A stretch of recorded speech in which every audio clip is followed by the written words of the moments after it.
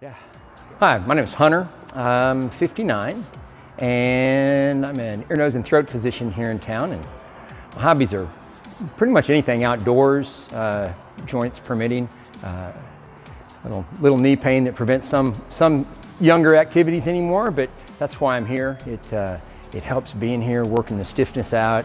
I've been here at Solus five or six years, I'm not really sure. Um, high school, college, I always did sports, and um, then I broke something, kind of got out of the habit, and went for years of just gaining a little weight, not exercising, feeling out of shape, and I had some buddies that were coming here, and they taught me into coming, and I've really enjoyed it, been here ever since. Hesitations when I started, you know, it's a little intimidating sometimes, and especially when you come in and everybody else is in shape and working out and they know what they're doing, they know how to do the lifts.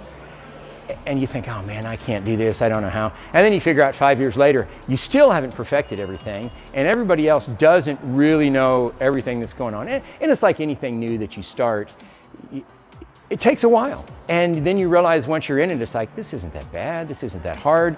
And the friendships you develop here, I think that's really what is the most fun. The other thing this really does for me is stress relief. I mean, this is just a great outlet. I come in the mornings. Um, I start my mornings five days a week here.